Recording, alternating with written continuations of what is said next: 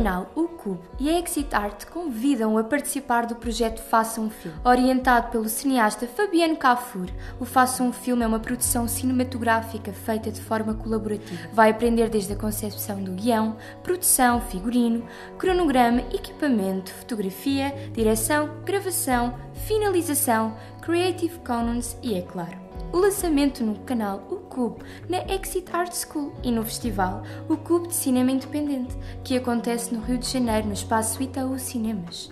E como na arte não tem idade, todos são bem-vindos e não é necessário ter experiência.